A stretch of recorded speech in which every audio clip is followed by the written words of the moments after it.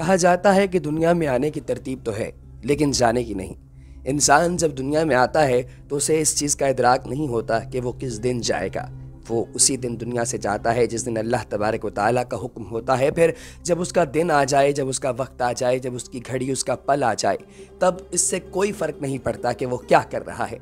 हो सकता है वो नाच रहा हो, वो गा रहा हो, वो किसी शख्स की शादी में मौजूद हो, वो फुटबॉल का मैच खेल रहा हो वो क्रिकेट का एक शायक हो जो कि आम जगह पर बैठा हुआ क्रिकेट का मैच एंजॉय कर रहा है, खा वो कुछ भी कर रहा हो। जब वक्त आ गया तो उस वक्त का फिर कोई इंसान मदावा नहीं कर पाएगा। माँ सिवाय इसके कि अपनी जान दे दे। जेर नज़र वीडियो में एक लड़की आपको दिखाई दे रही है, जो कि भारत की रियासत संपूर्ण में एक कम्युनिटी थिएटर कर रही है, जहाँ पर बहुत सारे लोग हिंदू धर्म के मुख्तलिफ़ इवेंट्स पर इकट्ठे होते हैं फेस्टिविटीज़ का मामला चलता है, और छोटे बच्चे वहाँ पर आकर डांस करते हैं। ये दरमियानी सी उम्र की लड़की है, जिसकी उम्र तकरीबन कोई सोलह से अठारह साल के दरमियान होगी, और ये स्टेज पर खड़ी डांस कर रही है कि अचानक से इसको दिल का दौरा पड़ता है, और ये वहीं पर नीचे गिरकर स्टेज पर ही ठंडी हो जाती है।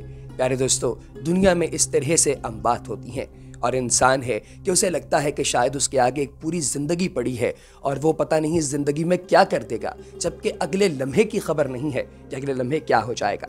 इसलिए कोशिश कीजिए कि अपने साथ जुड़े लोगों से मोहब्बत कीजिए, प्यार कीजिए और ज़िंदगी को उसके फुलेस्ट इंजॉय कीजिए और अल्लाह तबारक ताली की इबादत कीजिए, ताकि आप इस दुनिया और आखिरत दोनों में सुरखरू हो जाएँ।